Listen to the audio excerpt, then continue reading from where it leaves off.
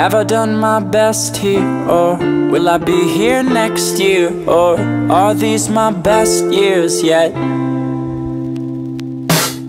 Was looking forward to being important, but I'm not important yet.